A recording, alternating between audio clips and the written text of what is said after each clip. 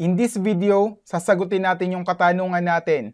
Ang Adobe Software Free License ba na ipamimigay ng DepEd na 83,000 ay sabang scam o legit?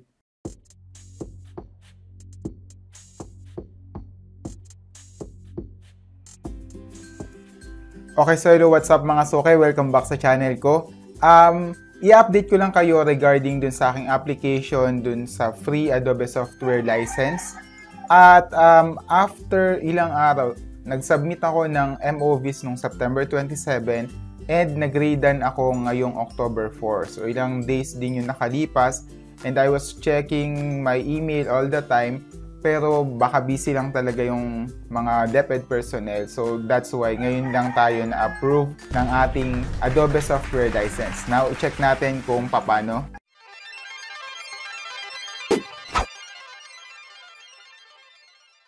Ako hindi naka-receive ng email na graded na yung aking mga MOVs. So, dapat pala chine-check natin sa ating mismong PDLMS. So, i-type in natin dito yung PDLMS Then, i-open natin yung ating account. And then, i-click natin yung ating course na na-enroll. Ito yung aking uh, Adobe for Education.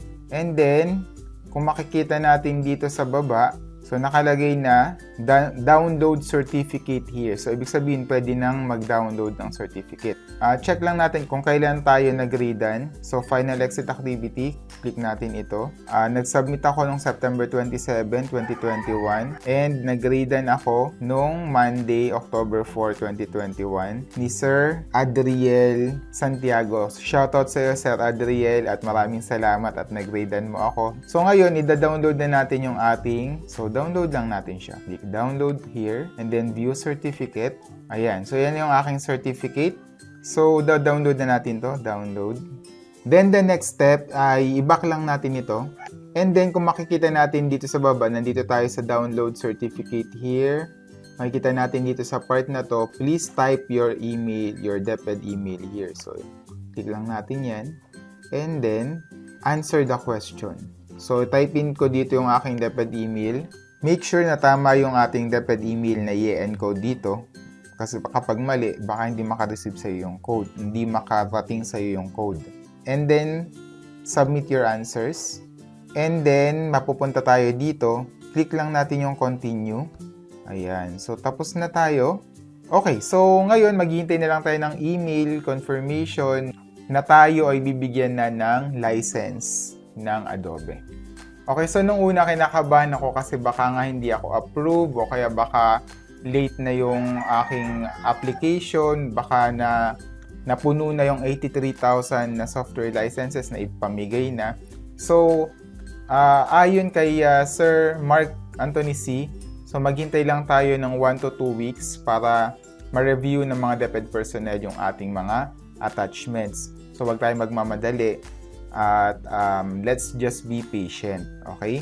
So ako kinabahan ako kasi mga ilang days na. So one week na mahigit yung aking uh, application at hindi pa ako na-approve.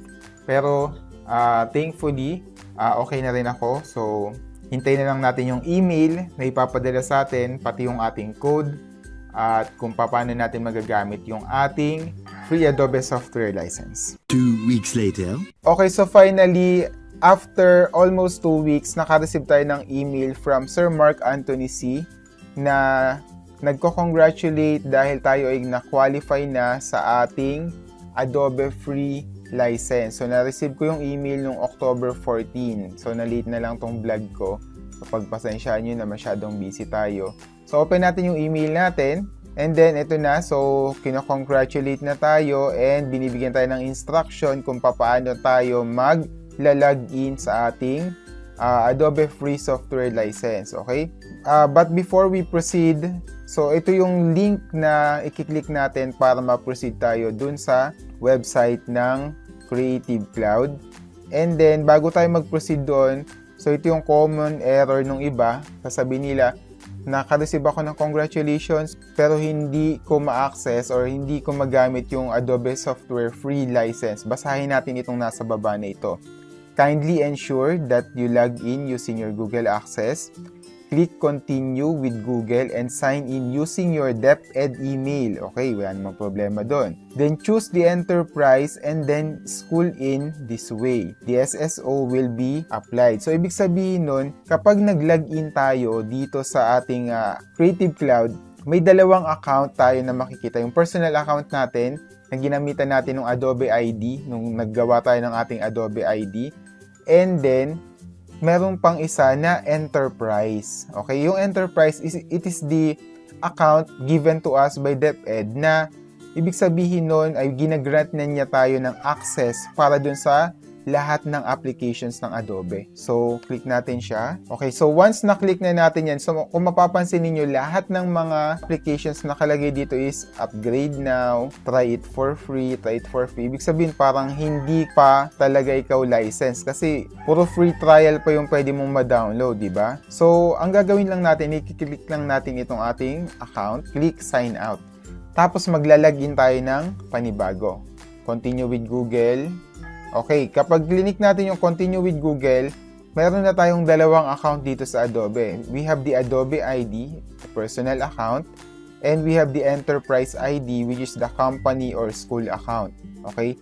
So kapag clinic mo yung Adobe ID, yun yung pinanggalingan natin kanina. So puro free trial lang yung pwede nating magamit doon. Pero pag clinic natin tong enterprise ID, mapoprompt na tayo dito sa ating account and then click natin yung View All Apps and Services. Ito yung mga applications na included sa ating plan. Included in your plan. Okay? We have the total cloud storage na 1 terabyte. We have Adobe Photoshop, Lightroom, Adobe Lightroom Classic, Illustrator, InDesign, Adobe XD, Premiere Pro, After Effects, Dreamweaver, Adobe Dimension, Muse, Animate, Adobe, or Acrobat DC Pro, Audition, InCopy, Illustrator on iPad, we have Prelude, Flash Builder, Edge Reflow, Edge Inspect, Photoshop on iPad, Adobe Premiere Rush, SpeedGrade, Edge Animate, Fireworks, di ba ang dami? So, sobrang dami ng pwede mong magamit ng mga application. Ang ginamit ko kaagad ay yung, dahil tayo ay teacher, tayo ay uh, laging gumagamit ng mga PDF files. So, ang ginamit ko is Acrobat DC Pro. In-install ko siya and then sobrang ganda dahil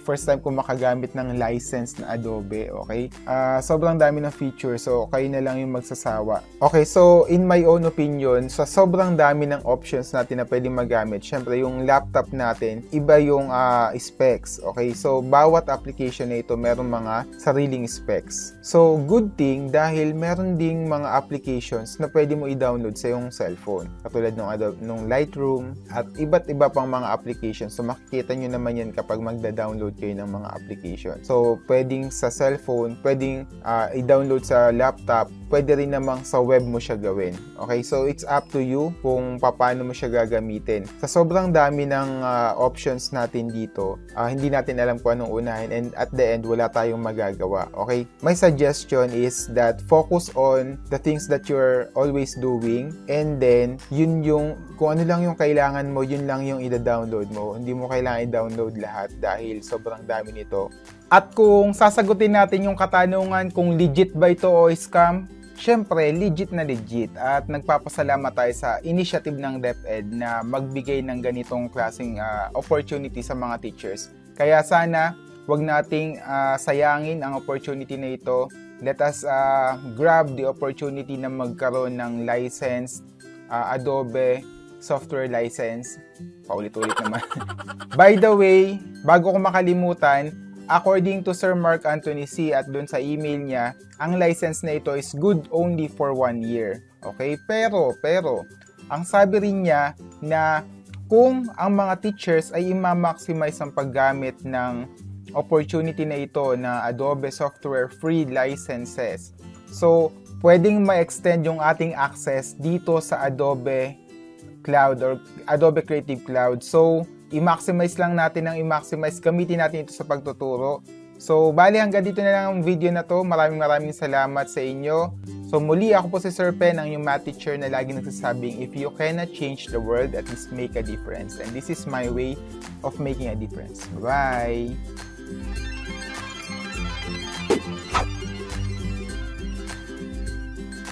Opo, opo, opo, isang pagkatama po dun sa aking previous video regarding po dun sa pagsasign up po sa Credly. So bago po kayo magsimula ng course ng, sa Adobe edX, yung Creativity for All, so dapat po nakapag-sign up po muna kayo sa Credly para after po ninyong matapos yung course, yung inyo pong badge from Adobe ay ma-receive ninyo at papasok po siya sa Credly. So, pero pumapasok pa rin naman yung iba, kaya lang medyo matagal, siguro case to case basis. So, yun lang po, pahabol lang po. Maraming salamat. Bye-bye!